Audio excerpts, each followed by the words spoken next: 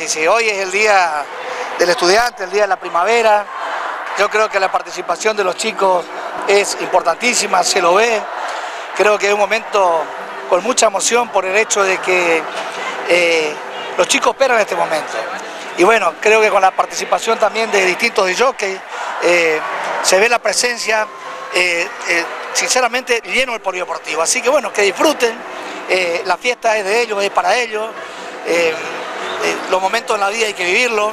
Eh, creo que el paso por la adolescencia, por la secundaria, eh, es un paso en la vida que sinceramente uno conoce a los amigos, se llena de afecto y, hay que vivirlo a pleno. Así que muy contento por eso. Bueno, y, comentábamos ya en, el noticiero, también en Cable Noticias, en el piso, lo, lo hablábamos con José María, que la temática que tuvieron cada colegio de hacer preguntas y respuestas, de presentar programas educativos, eh, todo esto que enmarcó la Semana del Estudiante y hoy con los talentos de cada colegio, los chicos que cantaron recién, la verdad que Iguazú no tiene nada que envidiar a nadie. No, por supuesto que sí, se organizó muy bien, una participación plena de todos los colegios justamente en lo que vos te referís, eh, en, esta, en la semana previa, eh, creo que la participación es, importantísima porque a partir de allí le genera expectativa, le abre sobre todo las oportunidades de de, visión en lo que es la vida y lo que es la comunidad.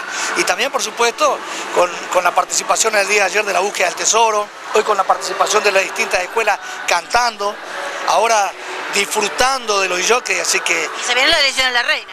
Sí, sí, por supuesto que sí, se va a hacer la entrega a la llave de la ciudad y se van a estar eligiendo justamente a los reyes de la estudiantina, así que que disfruten y feliz día al estudiante.